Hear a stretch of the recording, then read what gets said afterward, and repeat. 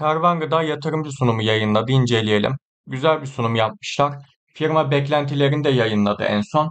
Güzel gelişmeler var. Grafik bu şekilde. 535 gündür TL bazlı aynı fiyatta olduğunu görüyoruz. Tabii ki inçik yapıyor aralarda. Hatta sert inçikler yapıyor bazen. Hissen şu anda FK'sı 21, FDFO'yu 11, PDD 1.72, P rasyosu 0.03. Fena değil. İncelemeye değer bence. Beklentileri de bayağı iyi. Güzel gelişmeler var yani. Bu yüzden incelemeye değer. Yatırım sunumundan bazı kısımlara bakacağız şimdi. Ve firmayı tanıyacağız. En sonda da hisseyi puanlayacağım. En iyi 100 şekerleme şirketi listesinde dünyadaki 66. sıradan 57. sıraya yükseldi. Türkiye'de sektörde %16'dan %17'ye çıkmış pazar payı ama dünyada daha hızlı büyüyor şu anda. Fabrika sayısı 3'ten 8'e çıkmış. Ülkeler 2020 yılında sadece Türkiye'deyken 2023'te Türkiye, Polonya ve Mısır'da olduğunu görüyoruz. Kapasitesi 2020 yılında 70 bin tonken 2023'te 114 bine çıkmış. Üretim alanında da aynı şekilde artış. Çalışan sayısı 2020 yılında 2100 iken 2023'te 3300'ün üstünde. Ciro dolar bazlı iki katına hatta daha fazlasına çıkmış. 2023 ve 2024 yıl gelişmelere bakalım. Mısır'da üretim tesisi kuruldu ve ilk likoriçe hattının kurulumunun tamamlanması yönünde çalışmalar sürdürüldü. 2024 yılında üretim başladı Mısır'da. Mısır yatırımı önemli. Niye? Çünkü orada asgari ücret düşük. Dolayısıyla kar marjının daha yüksek olma potansiyeli oluyor. Manisa Demirci ilçesinde 25 megawatt kurulu güçte güneş enerji santralimizin kurulumu başladı. 2024 Mayıs ayı sonu itibariyle tamamının devreye alınması planlanıyor. İstanbul fabrikasının Akhisar'a taşınma süreci tamamladı. Bence bu da önemli. Çünkü İstanbul'da da hayat pahalı. Akhisar'da daha düşüktür. Her şey, maliyetler, personel ücretleri. Amerika'da 8300 metrekare büyüklüğünde depo projesine başlanmıştır. Proje 2025 yılı Mayıs ayında tamamlanması planlanıyor. GES projesi yaptığını görüyoruz. Bayağı da güzel gözüküyor. Akhisar'daki üretim tesisinden bahsetmiş ve burada stratejik öneme sahip OTC takviye edici gıda ürünlerine özel yılda 2000 ton kapasiteli bir jeli hattı yatırımı yapılacak. Bu takviye edici gıda işi bence önemli. Çünkü buralarda marj daha yüksek. Burada stratejik önceliklerinden bahsetmiş. Bunları da bayağı beğendim. Satışlarının %59'u jeli, %17'si liçorçe yine yumuşak şekerler şu anda ağırlıkta ama diğer şeylerde de artışlar olacak bu takviye edici gıdada falan. Sonra bir tane çikolata kaplı çilek gibi bir şey vardı görmüştüm. Yurt dışı satışları çoğunlukla Amerika, İngiltere ve Almanya olduğunu görüyoruz. Brüt kar marjı geçen yıla göre artmış. Bunda sebebi Polonya'daki brüt marjında artış yaşanmış. Navlun fiyatları daha normalleşmiş 2023 yılında ama şimdi bir daha yükseldi gibi navlun fiyatları. Ama hala 2021-2022 kadar yüksek değil. Aslında şu anda navlun fiyatları yine fena değil. Çok yüksekte değil yani. Enflasyon etkilerinin global olarak tam anlamıyla görmeye başlanmasıyla birlikte satış fiyat zamlarının daha hızlı yapılabilmesi. Brüt kar marjı %23.7'den %26.7'ye çıktığını görüyoruz. Brüt karda da artış var. Bu tabi enflasyonludur bu. Odak alanlarını koymuş. Perakende ve Bebeto Shop fonksiyonel ve takviye edici ürün grupları e-ticaret bunlara odaklanmışlar. Londra'da Bebeto Shop açmışlar. Baya güzel gözüküyor. Kurutulmuş gıda evet burada çikolata kaplı çileğe benziyor. Bu yakın zamanda çikolata kaplı çilek üreten bir firmada bayağı olaylar olmuştu. CEO'su millete artistlik yapmış. Sonra bu sosyal medyada yansıdı. Herkes CEO'yu eleştirdi. Sonra CEO olan kadın istifa etti falan. Böyle şeyler oldu. Kervan Gıda da burada bu boşalan koltuğa oturabilir. Buradaki sektörde daha öne çıkabilir. Çikolata kaplı çilek şeysinde. Takviyeci gıda kategorisindeki ürünü tanıtmış. Atıştırmalık bar üretim hattı Polonya'dan Akhisar'a taşınacak ve ürünler Türkiye'de üretilecektir. Bakın firma böyle e, nerede kar marjı yüksekse falan o taraflara yönelmeye çalışıyor. Çünkü her ülkedeki üretim maliyetleri aynı değil. 2023 yatırımlarını biliyoruz zaten. 2024 yatırımlarında neler demişler? Enerji maliyetleri sıfırlan projesi demiş. Polonya'da ikinci jeli yatırımı, Amerika'da depo yatırımı, otomasyon ve IT altyapı yatırımları, Türkiye'de OTC ürünleri için nişastasız jeli hattı yatırımı. Planlanan yatırım tutarı 35-37 milyon Amerikan doları. 35 milyon çarpı 33 yaklaşık 1.2 milyarlık yatırım. Bence büyük yatırımlar planlanıyor. Net borcunda dolar bazlı artış görüyoruz. Normal çünkü yatırım yapıyor firma. Net borç faiz rasyosunun aşırı ucuz olmadığını görüyoruz. Ama işte büyüme sürecindeki bir firma. Yani bu yatırımlar tamamlanmaya doğru gittikçe o zaman tabii kar daha da patlayacak. Ama bu firma yani biraz agresif büyüyor gibi. Tam bir yatırım tamamlıyor. Hemen şak başka bir yatırıma başlıyor. Ama firma bayağı iyiye gidiyor. Net yabancı para pozisyonu 1,5 milyar döviz açığı var. Bu şimdilik bir sıkıntı oluşturmuyor gibi. Çünkü carry trade dolar bir şey yapabildiği yok. Ama dolarda atak olsa bile önce bir zarar yazıyor ama sonraki bilançolarda daha iyi karlar yapıyor. Çünkü sattığı ürünlere de zam yapıyor. Zaten bayağı ihracat da yapıyor. Burası tedirgin etmiyor beni. Hatta şu anda dolar borcu TL borçtan daha iyi. Çünkü TL borcun faizi yüksek. Dolar pek atak yapmıyor. Hazır bilançoya girmişken net gelir tablosuna da bakalım. Hasılatta geçen yıla göre tabi TL bazı mutlaka artış vardır ama enflasyonunu bakarsak reel olarak düşüş olmuş. Normal çünkü üretim hatları taşındı bu yıl. Seneye daha iyi olur ama hasılat düşmesine rağmen brüt kar arttığını görüyoruz. Demek ki kar marjını arttırmış. Ki 2023'te ilk iki çeyrekte döviz gitmemesine rağmen yani sıradaki bilançolar bence baya baya daha iyi gelebilir. Faaliyet karının arttığını görüyoruz. Finansman gideri var ama parasal kazanç da var. Ve vergi öncesi kar geçen yıla göre bayağı artmış. Dönem karı geçen yıla göre bayağı artmış. Bu şekilde görüyoruz. Morlu olanlar mor olan enflasyonsuz geçen yılki bilanço. İlk mavi enflasyonlu ilk bilanço. ikinci mavi bu yılki bilanço. Satışlar fabrik net kar tablosu. Borçlulukta %29'u TL borç, diğer kalanlar döviz borçları. TL borcun az olması bence iyi bir şey çünkü TL faizleri yüksek. Enflasyon muhasebesi hariç finansalları da koymuşlar. Favökü 1.2 milyar olacakmış enflasyon muhasebesi olmasaydı. Peki şu anda kaç Favökü? 846 milyon. Enflasyon muhasebesiyle Favökü düşmüş. Yani EM olmasaydı FD Favökü daha da düşük olacaktı. Satış hacmi ton bazında geçen yıla göre bir tık düşüş var. Evet çünkü üretim hatları taşındı ama 2024'te çok daha iyi olacağına inanıyorum. Göstergeler, beklentiler bu yönde zaten. Firmanın brüt kar marjlarında artış görüyoruz ama bu firmada yani brüt kar marjı azıcık oynasa büyük bir değişim olabiliyor. O yüzden böyle çok kısa vadeli bakmamak lazım. Yani işte bazı çeyrekler iyi olur, bazı çeyrekler biraz geride kalır olabilir. Ama büyük resme bakmak lazım. Yıllık gidişata bakmak lazım. Hisse FK'sı 21, FDF 11, PDD 1.72, 2024 yıl beklentiler. İşte en önemli kısım burası.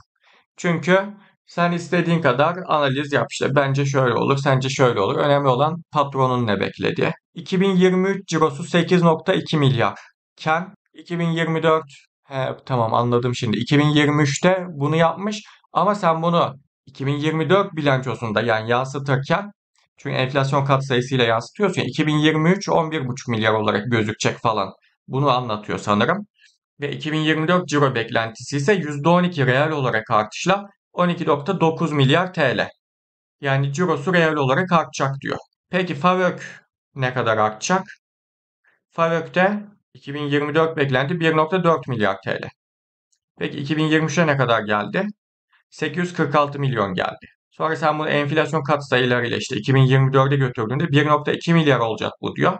Ama biz 1.4 milyar 2024'te yapacağız diyor ve 2023'ün enflasyonlu haline göre bile reel olarak büyümüş olacağız diyor.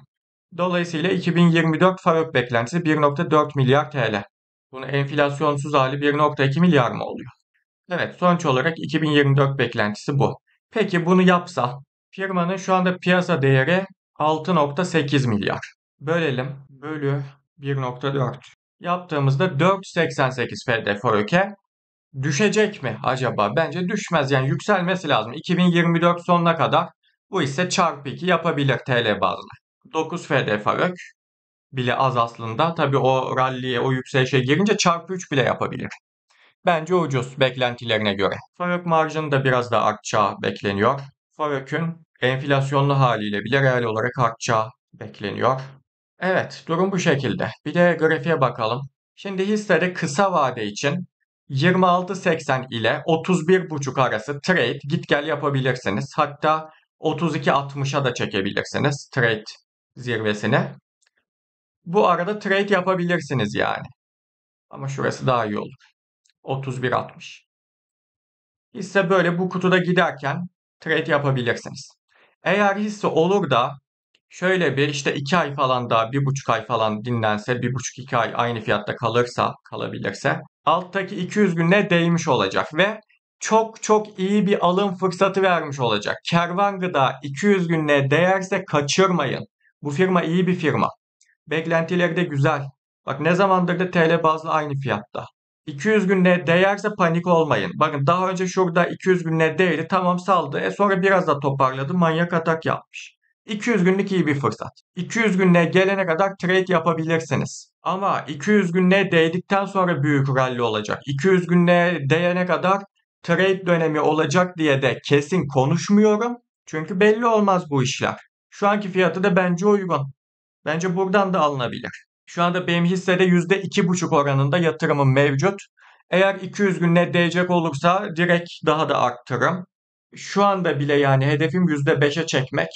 Ama 200 günle değecek olursa yani kaçırmam. Direkt %5'e hatta belki %10'a çıkarım. Şurada da bir zirve 29.74. Burası da direnç olur mu? Yani bence bu iş artık bitti. Bundan sonra burada artık trade edilir bu kutuya göre. Hisse hedefler Şimdi bu hissede grafik düzensiz yani net bir teknik hedef bulmakta zorlanıyorum.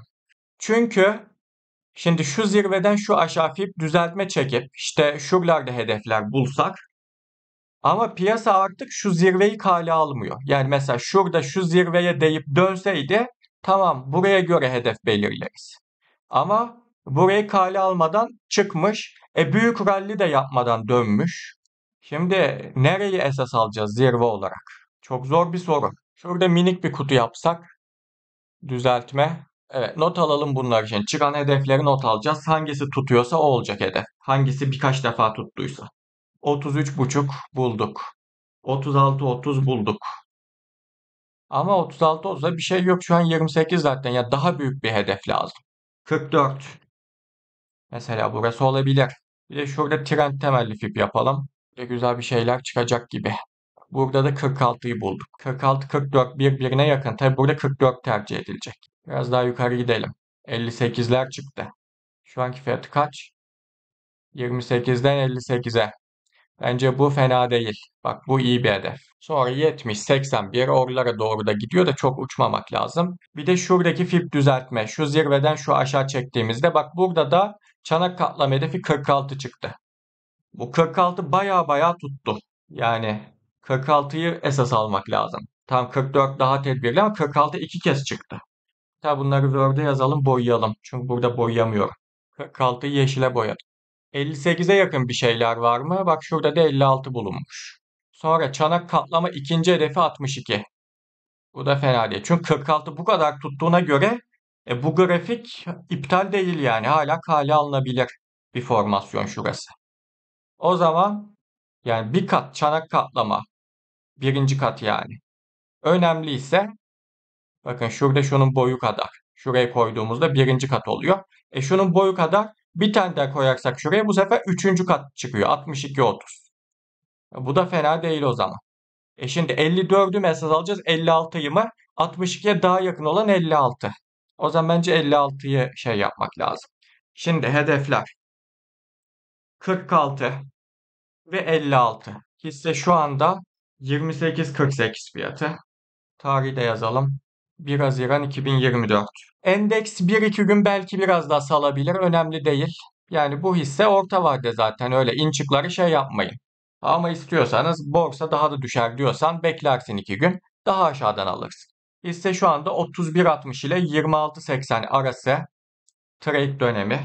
26.80 31 60 arası trade edilebilir 200 günlük fiyat ortalamasına değerse kaçırılmayacak fırsat olur. Şimdilik trade dönemi gibi gözüküyor ama yine de uygun bence beklentilerine göre. Hisse puanım kısa vadeli puan vermiyorum. Orta vadeli puanım 10 üzerinden 8. Bundan sonra da hisseleri puanlıyorum analiz ettiklerimi. Unutursam hatırlatın yorumlarda. Firma %800 bedelsiz sermaye artırım kararı aldı. Hisse fiyatı 9'a bölünecek yani. Mevcut fiyatları 9'a bölüp güncelledim. Bedelsizden sonra yine buraya bakabilirsiniz güncellenmiş fiyatlara. Videolarımdan istifade edenler bu kanalın devam etmesi için katıl butonundan destek olabilir. 100 liralık katıl üyelik alırsanız katılda da yayınlar yapıyorum. Oradaki videoları da izleyebilirsiniz. Bu çektiğim video katıl üyelik kalitesinde bir analizdi. Ama mesela bu analiz, bu hisse kervan şu anda hem kısa vade hem de orta vade çok manyak diyemiyorum. Hani orta vadede süper, kısa vadede eh işte biraz trade edilebilir tarzında.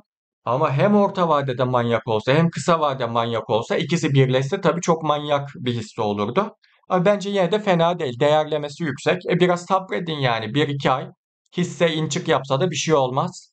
Beklentileri bayağı iyi. O 200 günle değmeden de kalkabilir hisse. Yatırımcılar sabretsin. Ben içimde kalmasın diye biraz aldım. Bir anda kalkacak olursa hani böyle hisse pek bulunmuyor. Özellikle şu anda yüksek faiz dönemi. Büyüyen firma pek yok. O yüzden değerli buluyorum büyüme çalışmalarını. Beklentileri de iyi. Hazırlamış olduğum sıfırdan uzmanı temel teknik borsa eğitimi 15 saatlik. Burada da bildiklerimi anlatmaya çalıştım. Öğrenciler Twitter'dan yazabilir. İndirim kodu için %50 indirim oluyor. Eğitimin linkini video açıklamasına koyacağım.